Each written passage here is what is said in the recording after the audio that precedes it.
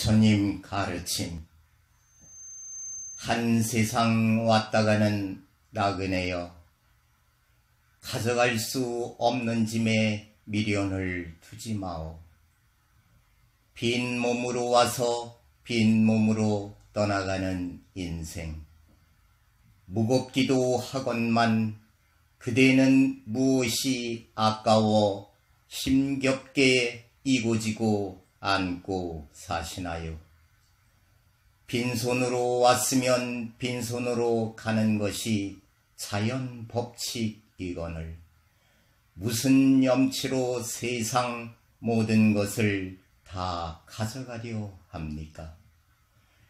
간밤에 꾼 호화로운 꿈도 지나고 나면 무상할 뿐이지요. 어제의 꽃 피던 봄날도 오늘의 그림자에 가려져 보이지 않는데 그대는 지금 무엇을 붙들려고 그렇게 발버둥 치고 있나요? 발가벗은 몸으로 세상에 나와서 한 세상 사는 동안 이것저것 걸쳐 입고 세상 구경 잘 했으면 만족하게 살았지요.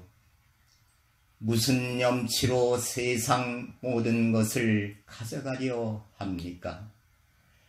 황천길은 멀고도 험하다 하는데 무슨 힘이 있다고 애착을 벗어나지 못하는가?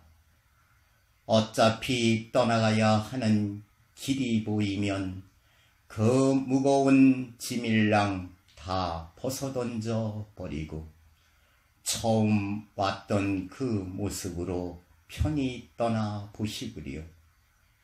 이승 것은 이승의 것이니 아예 마음에 두지 마오. 떠날 땐 맨몸 걸쳐주는 무명천 하나만 걸쳐도 그대는 그래도 손해볼 것 없지 않소.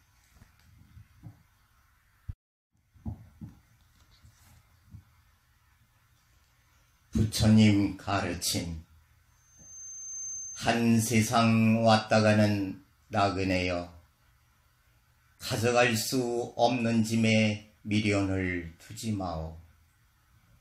빈 몸으로 와서 빈 몸으로